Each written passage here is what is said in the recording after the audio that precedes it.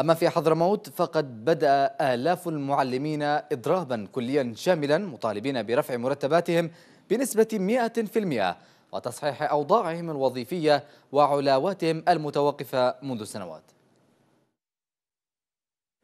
بداية مختلفة لعام دراسي جديد يكمن الاختلاف فيها بإضراب شامل وكلي لآلاف من معلمي محافظة حضرموت في أقل من أسبوع من بدء العام الدراسي.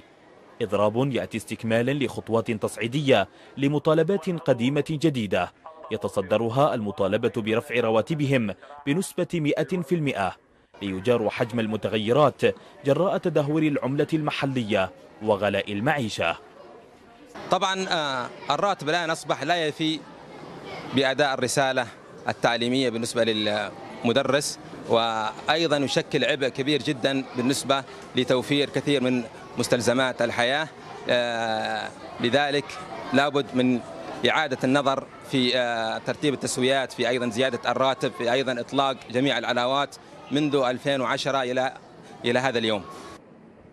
لكن سقف المطالبات امتد بحسب بيانات صدرت عن لجنة أنا المعلم لمتابعة حقوق المعلمين بحضرموت إلى المطالبة بعلاوات وتسويات ودرجات وظيفية متوقفة لسنوات.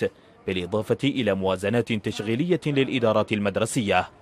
في ذات الوقت متهمين الحكومة بتجاهل مطالبهم التي وصفوها بالمشروعة رغم اتخاذهم كافة الإجراءات القانونية لانتزاع حقهم. وكان البرنامج التصعيدي ثلاث أيام رفع الشارات الحمراء وثلاث أيام إضراب جزئي ولكن لا من تنادي وهناك وعود ولكن لم تتم هذه الوعود. وإن شاء الله اليوم سنبدأ إضرابنا المفتوح الإضراب المفتوح والشامل من خلال متابعة حقوقنا. ومن ضمن متطلباتنا علاوات السنوية وكذا علاوة غلاء معيشة والتسويات وكل هذه أعطونا بها وعود من سنوات ولكن ما تم شيء من ذلك. وكانت الحكومة اليمنية قد أقرت زيادة 30% في رواتب الموظفين المدنيين بدءا من الشهر الجاري لكن المعلمين يعتبرون هذه الزيادة لا تفي بالغرض وغير مقبولة. وفي ظل صمت مريب من السلطات تجاه هذه المطالب وفي حال استمرار الإضراب الكلي فإن هناك 387 ألف طالب وطالبة مهددون بالتوقف عن الدراسة في كامل المحافظة.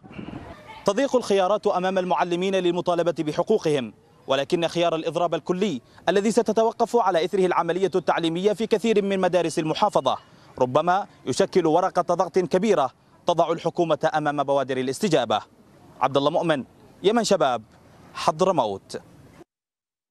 إذا ولمتابعة هذا الموضوع أيضا ينضم معنا الأستاذ فاخر بن طالب رئيس لجنة أنا المعلم للمطالبة بحقوق المعلمين في حضرموت. نرحب بك سيد فاخر. مساء الخير. عايز الاخبار سيد فاخر هل تسمعني؟ نعم. نرحب بك معنا في أخبار المنتصف. إذا تابعنا هذا التقرير لزميلنا من حضرموت. إذا مع بدء العام الدراسي هناك إضراب يعني دعا دعا إليه المعلمون في المحافظة. ما أهداف هذا الإضراب بداية سيد طالب؟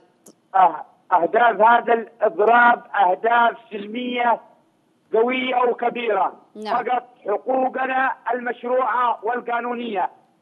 المطالب بحقوق كل التربويين والمعلمين والمعلمات في هذا الوادي وأعطينا هذه مطالبنا لكل من السلطة في الوادي ممثلة بالوكيل الوادي. نعم. أصاب حبريش وممثلة بمكتب مكتب عام وزارة التربية والتعليم بالوادي والصحراء.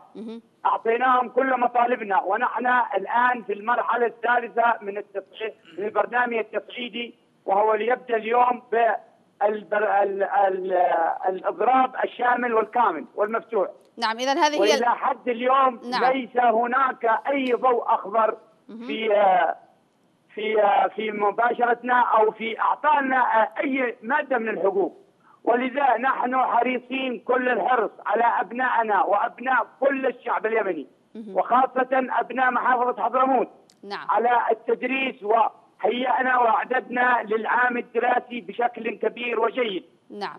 ولكن ليس لنا هناك آه، آذان صاغيه تصغي لنا. طيب تحدث سيد فاخر عن هذه هي المرحلة الثالثة. ليس هناك استجابة كما تحدث يعني للأسف الآن سواء كان من السلطة المحلية أو حتى يعني على الحكومة. في وقت سابق كان معنا الوزير لملس وتحدث أو دعا المعلمين إذا عدم آه، الإضراب وتحدث يعني آه، أن هنا هذا نهج تدميري. آه، لذلك يعني كيف يعني ترى تصريح الوزير وألا يؤثر ذلك على الطلاب حاليا؟ بهذا الإضراب الذي تقومون به في حضرموت؟ ما فهمت إيش يعني كيف يعني؟ نعم آه، أتحدث أنكم الآن مستمرون في هذا الإضراب ولكن الوزير تحدث أن هذا الإضراب يضر بالطلاب ويعتبر نهج تدميري. فبالتالي هل أنتم سوف تستمرون بهذا الإضراب أم يعني آه، نعم. سوف تقومون ربما الآن آه، نعم. بأشياء أخرى غير الإضراب؟ حتى لا يتضرر الطلاب الآن في المدارس. تفضل. الإضراب سيستمر. سيستمر إلى أن تلبي الدولة حقوق كل المعلمين والمعلمات والتربويين والتربويات في الوادي والصحراء. نحن لجنة آه، مفوضة من كل المعلمين والمعلمات والتربويين والتربويات داخل الوادي والصحراء. هذه المطالب مشروعة ومن حقنا. طيب. ليس لنا قدرة على أن آه، ندرس طلابنا وأبنائنا وأبنائنا جياع. نحن لا نستطيع شراء قوتهم اليومي. نعم إذا ظروف معيشية سيئة يعني يعاني منها آه، آه، المعلم. هذه الخطوة نعم. ويعني مستمرين عليها. جميل. طيب. طيب حتى الآن هل هناك استجابة؟ طيب حتى الآن هل هناك استجابة لهذه المطالب؟ وما هي خطوتكم آه، المقبلة؟ هل هناك تصعيد أكثر؟ ليس هناك أي استجابة. ليس هناك أي طب أمام عدم هذه عدم الاستجابة هل يعني هناك ربما تصعيد من نوع آخر؟ نعم نعم نعم. ما هو؟ إن شاء الله وسيوضح هذا من خلال لقائنا باللجنة العامة وتدارسنا للأوضاع. نعم. وسوف نكشف عنها في الأيام المقبلة إن شاء الله. جميل. لو أختم نعم لو أختم معك الآن ربما نسبة الاستجابة لهذا الإضراب يعني هل هناك استجابة آه، كبيرة للمدارس وأيضا المعلمين لهذا آه، دعوتكم للإضراب في المحافظة؟ شكرا. شكرا شكرا. نعم. يبدو أنك لم تسمعني سيد فاخر ولكن نعم أكتفي أكتفي معك بهذا القدر سيد فاخر. بن طالب رئيس لجنة أدنى المعلم للمطالبه بحقوق المعلمين في حضرموت. شكرا جزيلا لانضمامك معنا.